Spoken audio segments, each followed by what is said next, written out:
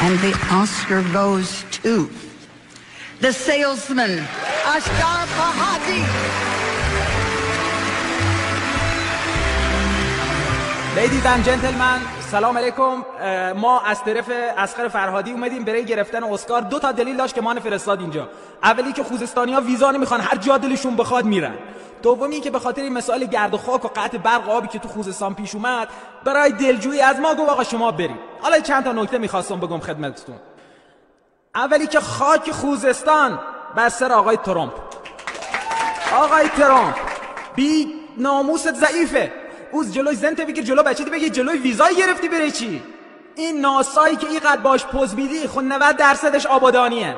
از کشف کره مریخ تا مشتری و مشتمه همشون آبادانی اینا. در آخرم تشکر می‌کنم از آکادمی اسکار برای این جایزه ای که به اسخر فرادی دادن. سالار اسخر فرادی ما اینجا اعلام می‌کنم اینو خواهش می‌کنم یه دست بندری.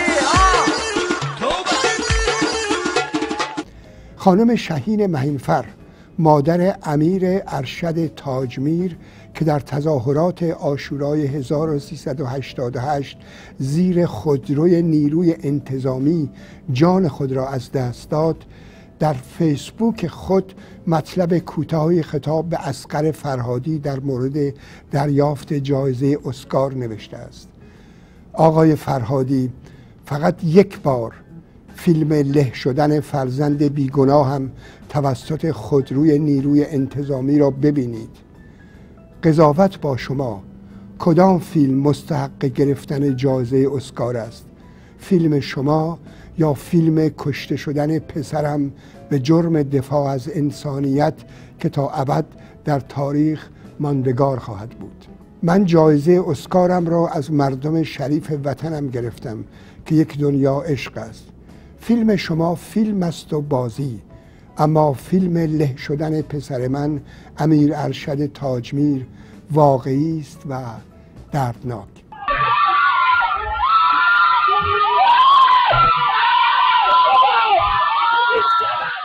به حال امیدوارم که آقای اسخر فرهادی و همینطور آقای فیروز نادری و خانم انوشه انصاری که دلشون می‌خواست رو صحنه اسکار برن بر حال این پیام رو هم بشنون.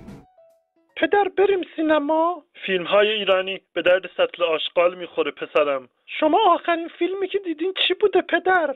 الو الو من جوجوام ساخته فریده سپاه منصور در نقش هارول لوید. چی میگی پدر؟ هنرمند خردسال آنتوان چخوف مطمئنین فیلم ببینین روانشاد داوود بهبودی در نقش بنهور.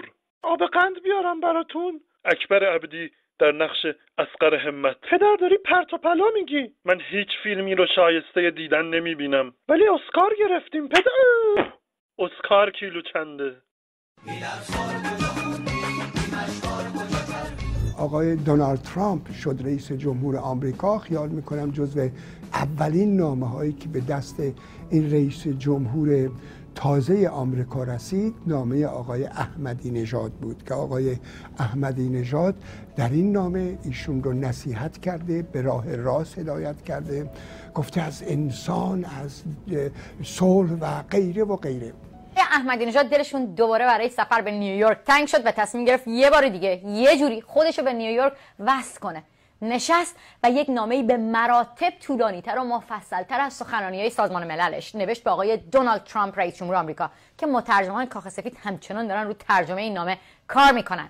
الان رو برگردونن کمک کنه لاغر اتفاقا شروع نامه طبق معمول با کلی دو آیه و حدیثه. بسم الله الرحمن الرحیم الحمدلله رب العالمین و السلام علی خاتم الانبیاء و المرسلین المحمد المصطفى و اهل بیت الطاهرین و علی جمیع الانبیاء و المرسلین و الصالحین اللهم عجل ولی الفرج و العافیه و النصر و اجلنا من الخیر انصار و عوان و المستشهدین بین یدی. این اولین باری که من اینو شنیدم. اما چیزی که توی این نامه بیشتر از همیشه جلب توجه می‌کنه اینه که سمفونی دشمن دشمن شیطان بزرگ شیطان بزرگش تبدیل شده به یک ضرب آهنگ دیگه. یعنی احمدی نژاد در 13 صفحه نامه که هفت صفحش دعا بوده شیطان بزرگ رو تبدیل کرده به شیطان طلای فعلی. آخه. احمدی نژاد در 13 صفحه نامه 16 بار به دونالد ترامپ میگه عالی جناب جنابالی عالی جناب جنابالی عالی جناب جنابالی که در انگلیسی همه اینها ترجمه شده به Your Excellency, Your Majesty. Your Majesty! حالا آقای احمدی نژاد به عالی جناب Excellency خودش چی گفته؟ قبل از هر چی از انتخاب آقای دونالد ترامپ به عنوان رئیس جمهور آمریکا ابراز خوشحالی کرده و گفته که این انتخاب خارج از اراده هیئت حاکمه آمریکا بوده. هیئت حاکمه؟ معظم له. به نظر آقای رئیس جمهور به نظر بنده نزدیکتر است آها آقای احمدی نژاد فکر کرده بود که همه جای دنیا هیئت حاکمه داره و حکم حکومتی و معظم له. لا لا لا و اما در بخش دیگر از نامه احمدی نژاد به دونالد ترامپ رئیس جمهور آمریکا نوشته ببخشید به عالی جناب ترامپ نوشته خداوند ما را برای دشمنی کردن خلق نکرده است. دشمنی؟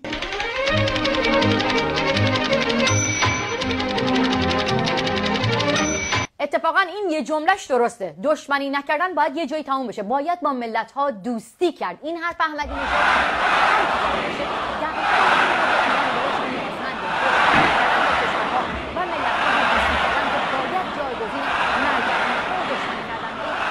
و ملت ایران تا ریشهکنی کل استکبار و سهیونیسم از جهان ایستاده است و همه اونها را به گور خواهد فرستاد. دشمنی کردن با کشورهای دیگه بخوره تو ملاجمون. کجامون؟ دشمنی کردن با مردم خودمون چی؟ احمدی نژاد به عالی جناب ترامپ نوشته که خدا ما رو برای برتری جویی خلق نکرده. واقعا؟ پس شما دیگه حال نور نداری؟ دیگه شما برتر نیستی و کسی مخالف شما باشم خس و خاشاک نیست. همه برابرن. اصلا برتری جویی معنی نمیده. یعنی بهایا دقیقا مثل مسلمان ها حق حیات و زندگی و حق کاسبی و تحصیل دارن توی ایران. نجس دیگه نیستن؟ نه این یکی حل شد. و اما آقای احمدی نژاد توی این نامه به آلی جناب ترامپ یادآوری می‌کنه که آمریکا پیشرفتش رو مدیون میلیون ها مهاجره اصلا بذارید براتون بخونم. پیشرفت ها و موجودیت امروزی آمریکا محصول مهاجرت ملل مختلف به آن دیار است. حضور و تلاش سازنده نخبگان و دانشمندان از کشورهای گوناگون از جمله میلیون ها هموطنان ایرانی این جانب نقش مهمی در پیشرفت آمریکا داشتند. هموطنان ایرانی این جانب یعنی احمدی نژاد خودش رو چسبونده به فرار مغزها یعنی مریم میرزاخانی پردیس ثابتی و صبا ولیدخان یعنی همه همه نخبه های خارج از کشور هموطنان این جانب یعنی آقای احمدی نژاد هستن که باعث پیشرفت آمریکا شدن. آقا چند تا نخبه از همین آمریکا و غرب فاسد برگشتن ایران که خانوادهشون رو ببینن ولی یا زندانی شدن یا ممنوع خروج شدن. حمید بابایی امید کوکبی احمد رضا جلالی اینا کی بودن؟ نخبگان داخلی چی؟ یعنی الان نسرین ستوده عبدالفتاح سلطانی دو تا وکیل ایرانی هستن که تو ایران هم زندگی می‌کنن. حق وکالت دارن. روزنامه نگاری مثل احمد زیدآبادی ژیلا بنی یعقوب حق کار کردن حق روزنامه نگاری کردن دارن. اصلا شیرین عبادی برنده جایزه صلح نوبل. برگرد ایران. فکر می‌کنی چه بلایی سرش میاد؟ نخبگان رو ول کن. هموطنان معمولی که گروه گروه ایران رو ترک کردن و شما میگید جزو ملل متنوع آمریکا هستن. چرا برنمیگردن مثلا این اون! هممون. یعنی هممون برگردیم می‌گذارید باعث تنوع و پیشرفت مملکت خودمون بشیم؟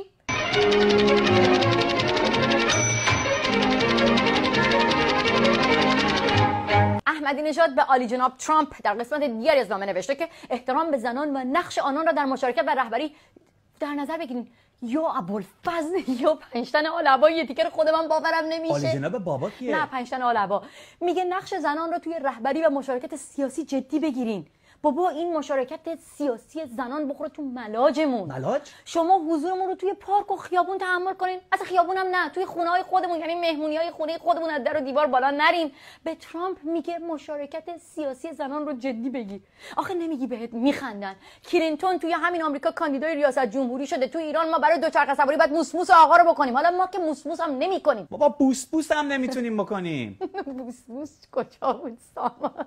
دیگه. بوس بوس کجا بود؟ لیلا حاتمی رو به خاطر احترام به فرهنگ کشور میزبانی که توش رفته بود شرکت کرد و یک هنرمندی که همسن پدرش بود رو بوسید چه بلایی سرش آوردن؟ یا سارات گفته بود برید شلاق بزنید و بعد هم لیلا حاتمی مجبور شد عذرخواهی کنه. اصلا همه اینا رو بیخیال. شما که به عالی جناب ترامپ میگی مشارکت زنان رو توی سیاست جدی بگیر برتری جویی نکن دشمنی نکن آقای احمدی نژاد اگر یک درصد این حرفای خودتون رو توی کشور خودمون عمل می‌کردید. الان آمریکایی‌ها باید پناهنده می‌شدن توی کشور ما. مهاجران سوری و عراق به جای اینکه راهی غرب و سرزمین کفار بشن باید به ما پناه می آوردن که همسایه مسلمونشون هستیم در ایران. یک عضو کمیسیون بهداشت و درمان مجلس به تازگی از قانونی شدن خرید و فروش کلیه دفاع کرده است. حسین علی شهریاری نماینده زاهدان. چه اشکالی دارد وقتی که فرد در فقر است و با دریافت 20 تا 30 میلیون زندگیش متحول می شود این کار را انجام دهد؟ عوارض خاصی ندارد و خیلی ها با یک کلیه زندگی می کنند. از طرفی کسانی هم هستند که اگر کریه به آنها نرسد میمیرند اما شرایط فقر گروهی از مردم چنان سخت است که هر روز جلو بیمارستان ها و در شبکه های مجازی آگهی فروش کلیه می‌زنند بلکه زودتر کلیه خود را بفروشند. در این فیلم کوتاه کارتون و عروسکی می‌بینیم که مردم همه عروسک هستند و با نخ دارن هدایت میشن. قدم رو با نخ می‌زنن به حرکت با نخهایی که معلوم نیست از کجا هدایت میشه مردم با این حرکت نخها دارن زندگی می‌کنن.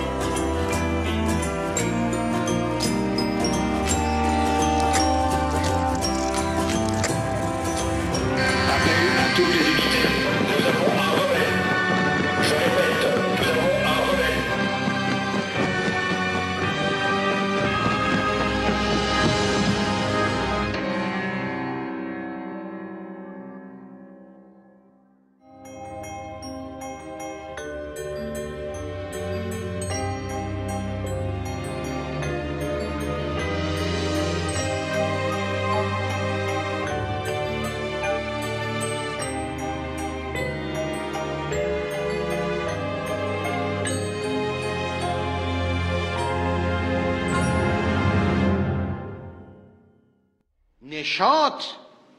ما باید نشاط داشته باشیم. پس فردا عیده بذاریم مردم یه ذره نشاط داشته باشن. نشاط داشته باشیم ما به موقعش.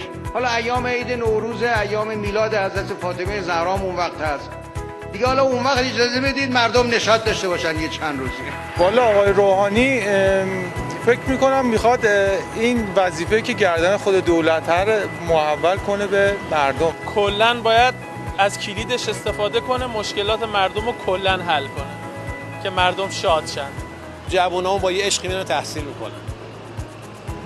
تحصیل می‌کنن لیسانس می‌گیره فوق لیسانس می‌گیره دکتر می‌گیره ولی خب میشینه بیکاری. یه لیسانس عمران می‌گیره میاد ماشین میره تو بازار میشینه دست فروشی می‌کنه میره پتو میفروشه. اینجور چیزا. خب با این وضعیت شما می‌خواد جامعه شاد داشته باشین من از جواب مثلا ممکنه مقطع فوق لیسانسم بیکارم. تا الان مثلا دنبال کار دارم میگردم. من کارناوالم تشکیل بدن عمرن تو این کارناوال بیام مثلا بزنم برقصم. بذارید جامعه ما نشاط داشته باشه جوانهای ما نشاط داشته باشن. شما بگید چجوری آخه؟ چجوری می‌خواین شاد باشن وضعیت کار درست میشه تو این چند روزه؟